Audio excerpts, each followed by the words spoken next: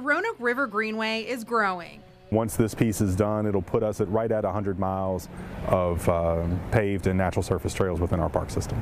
Roanoke Parks and Recreation launched a $6.1 million initiative to close the gap in the Greenway. The project, which is expected to take 18 months to finish, began earlier this month.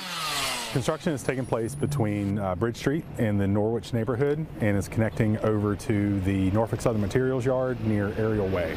It includes a mile long section of trail connecting to the existing greenway and improvements to parking.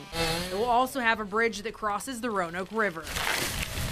Uh, interesting fact, uh, the bridge is at uh, 270 feet will be the longest bridge in our greenway system.